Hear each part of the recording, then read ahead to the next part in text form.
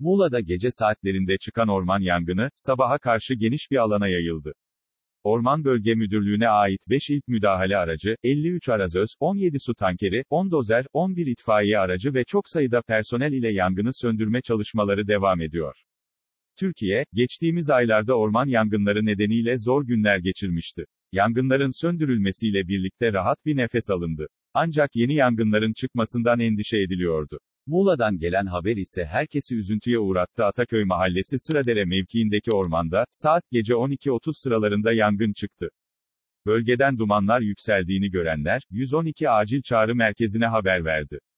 İhbar üzerine yangın bölgesine itfaiye ve orman ekipleri sevk edildi. Muğla Orman Bölge Müdürlüğü'ne ait 5 ilk müdahale aracı, 53 arazöz, 17 su tankeri, 10 dozer, 11 itfaiye aracı ve çok sayıda personel ile karadan müdahaleye başlandı.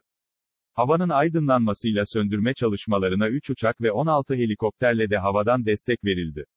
Yerleşim yerlerini tehdit etmeyen ancak geniş bir alana yayılan yangını söndürme çalışmaları sürdürülüyor.